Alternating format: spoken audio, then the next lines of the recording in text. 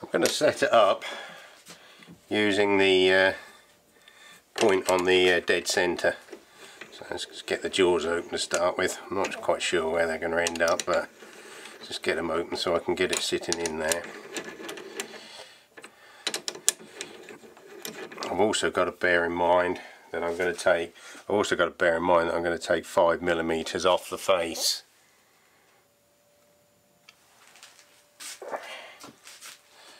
so let's see if we can get that uh, how that's going to sit. I'm not quite sure how that's going to sit. Um, yeah, it's actually going to be quite a bit off centre. Not sure.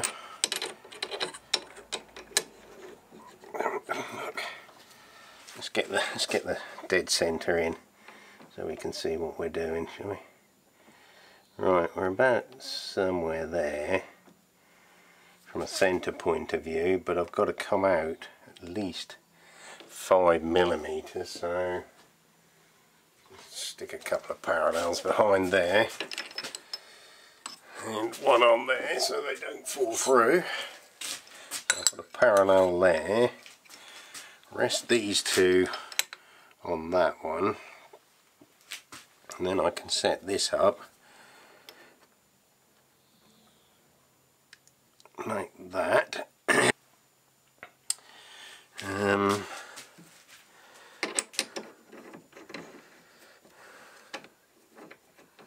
that one's out quite a bit more than that one so let's get those two sort of roughly equal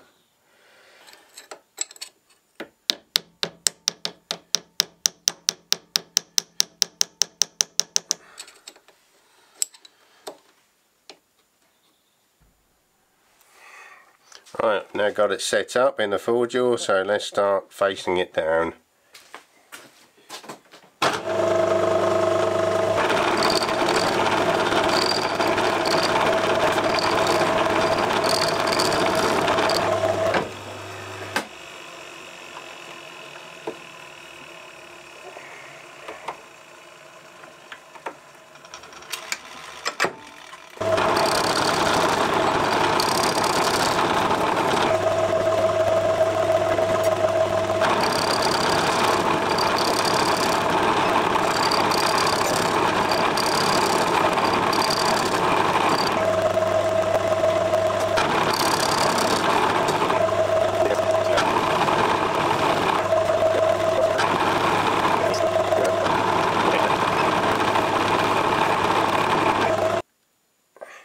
Right, just going to drill a 4mm hole in there just so I can put a gauge pin in when I flip it over to line up the other side.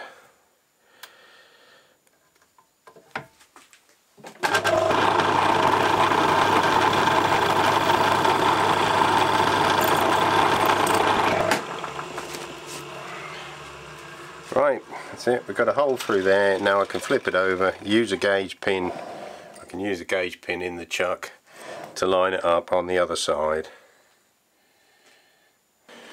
Right, what I've decided to do, instead of trying to set it back up in the four-jaw, I'm going to set it up in the collet.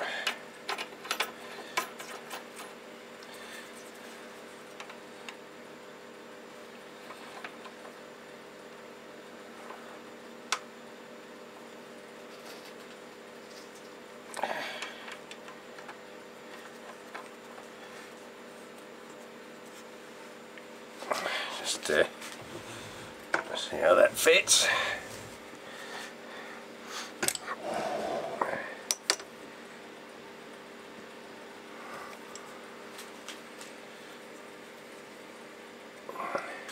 Right, the reason I've decided to set it up in the collet is because I've got to mill it down to four and a half millimeters which means there's only going to be about three millimeters in the jaw of the chuck which means it's, it's going to be hanging right out on the edge. So I'm gonna I'm gonna try and do it in the collet and hopefully it'll work out okay.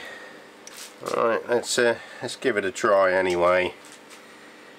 Um, if necessary I can bring the dead center in fact I might do that straight off and bring the live center in.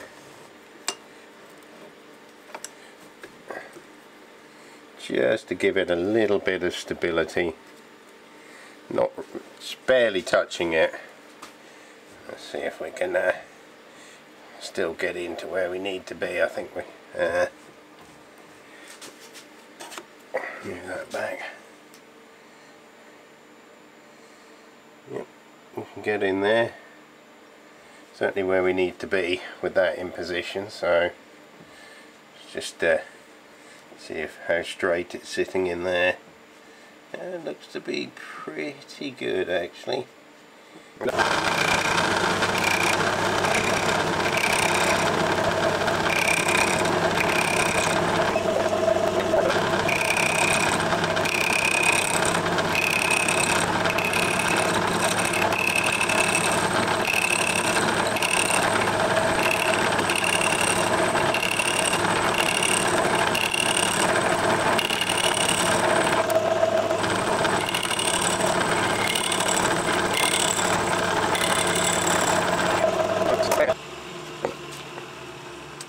centre out now and get this turned down to 12 millimeters.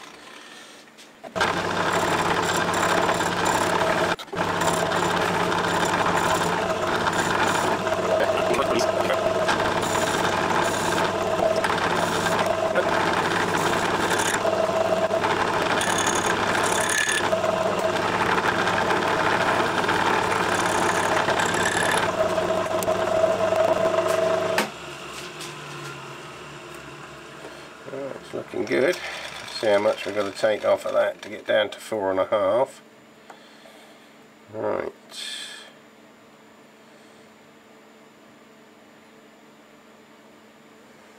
Right, that's um, 6.2, so I've got to take off 2.7.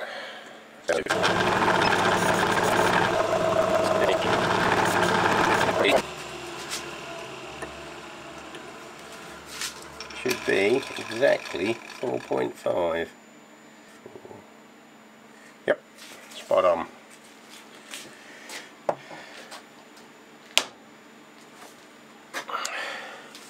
Right, gonna have to go over to the mill now and uh, get the shape. Well, it looks pretty good. Obviously got to file some of this off. Um, but I've drilled the hole off centre so I can uh, correct any uh, deviations later on. It's not a critical part, it's just um, a, a lever bracket. Put a couple of little scribe lines on, one there and one there. So I'm just going to mill down to those two scribe lines and that will give me a, a reference point for squaring these ends and doing the others. Alright, so how I'm going to set that up is I'm going to put the uh, parallel on there and I'm going to just tap it down to the scribe line. Just tap it down to the scribe line. The scribe line is now parallel with the top of the jaw which is fine because that if I put my scale on there that runs through that line runs through with the top of this so I'll be able to mill directly down to the line. Right I've got a 6mm cutter set up now. I'm going to mill that down to the scribe line by eye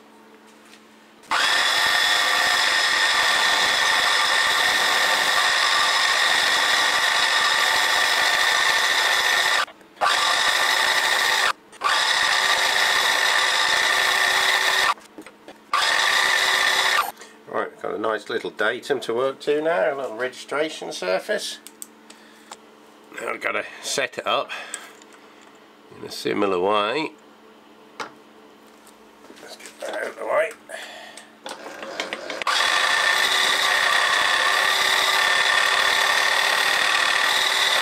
Right, I've squared that up using a parallel. I'll just dust off the top there now. Should be eight millimeters. Yep.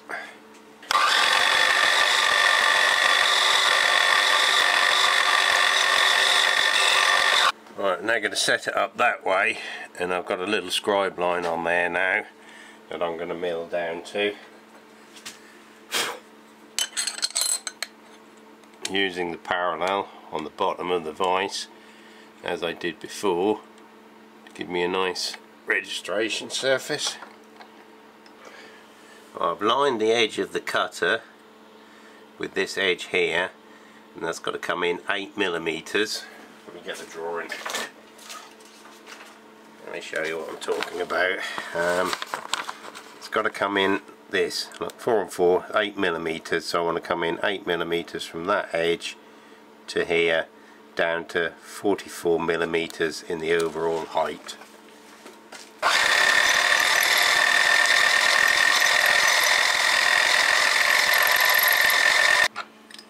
Alright, how I'm setting this up is I'm measuring the depth of the top of the back jaw and then I'm going to move the gauge over to there and I can now see through. That. There. I can now see just through there that I'm exactly on the bottom of the gauge. There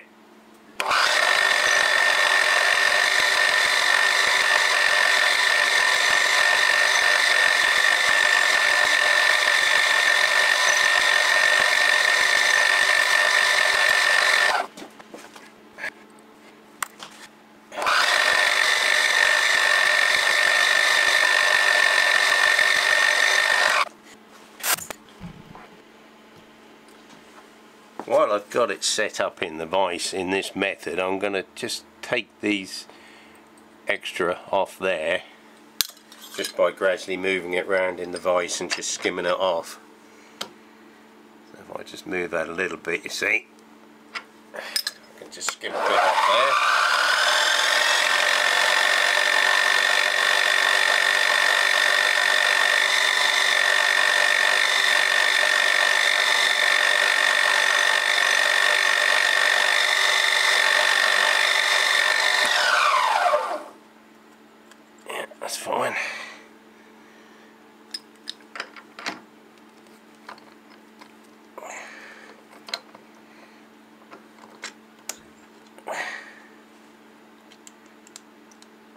I can't do that because it's, uh, it's catching there. What I'm going to have to do is bring it up to the end here and do it like that.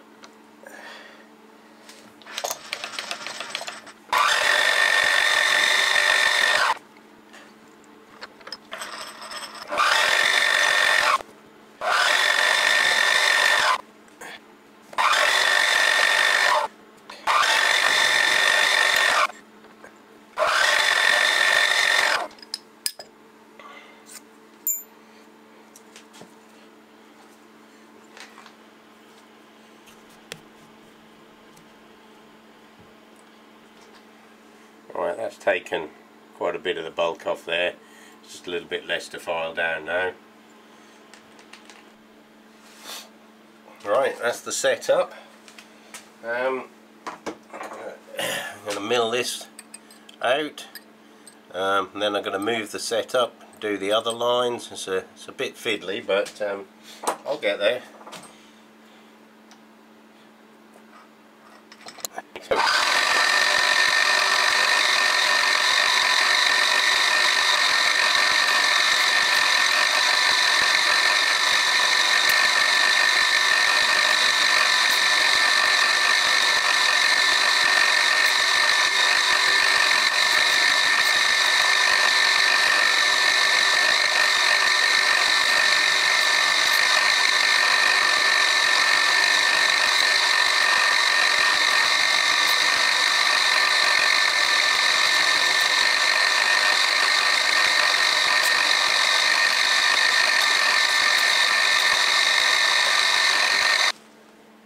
Right, that side cut. Um, I'm now going to cut, set it up again and cut this other side.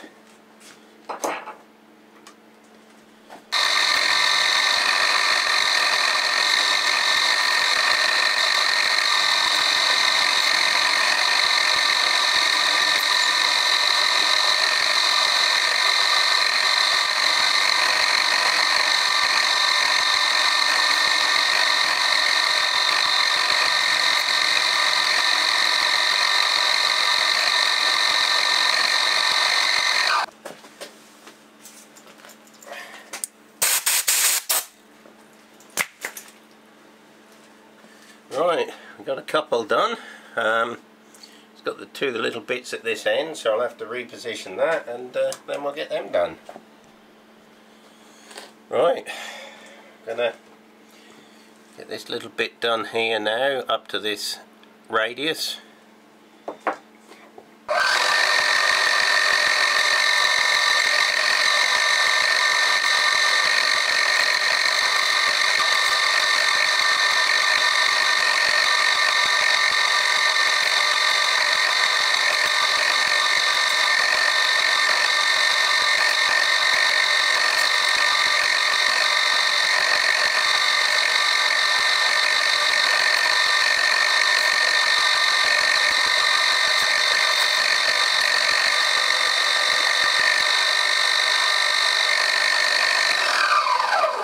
Well, got a bit greedy there. Um,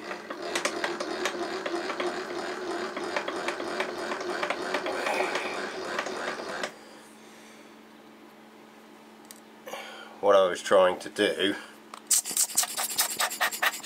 I was trying to cut that bit off there, that piece through there with the cutter at full reach and because it was too much for it. So um, anyway, I've got the bulk of it done. I'll uh, nibble that bit out um, with another cutter. And uh, yeah. I have a plan.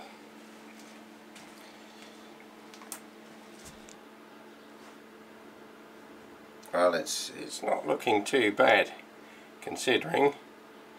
A little bit of filing and a bit of cleanup and I think we'll be there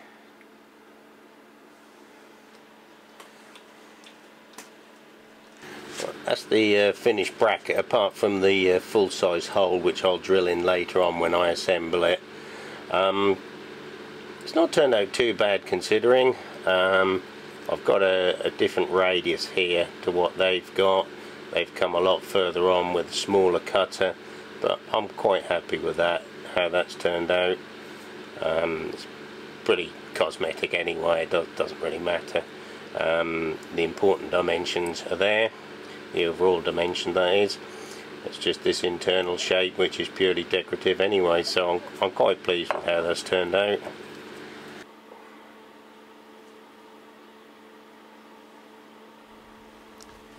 That's all folks, I hope you enjoyed the video.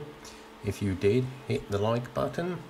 I would also appreciate it if you would click the subscribe button because that will uh, enable me to grow the channel so that I can keep making these videos.